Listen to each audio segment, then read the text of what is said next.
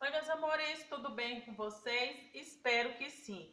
Gente, hoje eu vou estar aqui para ensinar para vocês uma batidinha muito fácil de vinho com leite condensado. Simplesmente vocês vão precisar só do, do leite condensado, uma caixinha ou uma latinha, né?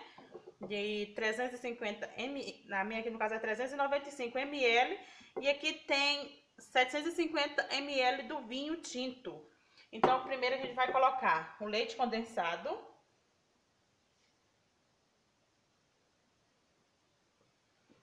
Depois que terminei de colocar todo o leite condensado, gente, eu já abri aqui meu vinho. Mesmo assim, ainda tá um pouco complicado aqui sair. Pronto. É só despejar tudo, pessoal. Agora pode pôr todo o vinho.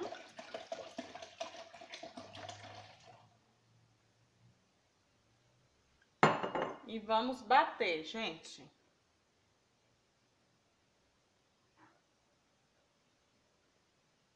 Depois que vocês misturaram bem ali, eu deixei bater por aproximadamente quase um minuto.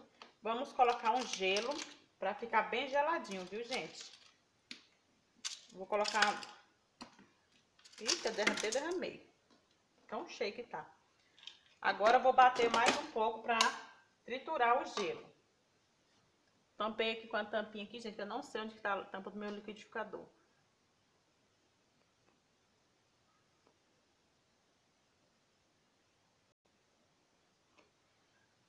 Pronto, pessoal, já bati aqui todo o leite condensado e o vinho.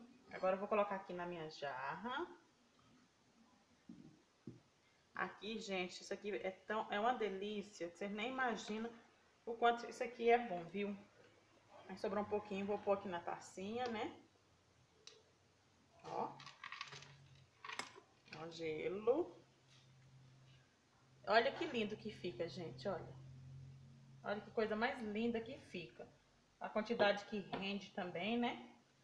Isso aqui quando tiver algum encontro de família, para quem bebe, né?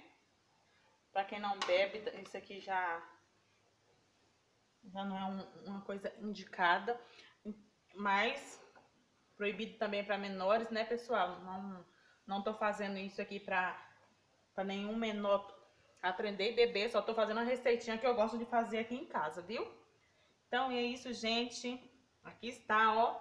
Quando chegar a família aí, corre lá e prepara uma batidinha de vinho que eles vão amar, tá bom? Pedir para quem tá assistindo esse vídeo que não é inscrito no meu canal para se inscrever. E um beijo no coração de cada um de vocês. Tchau, tchau e até o próximo vídeo.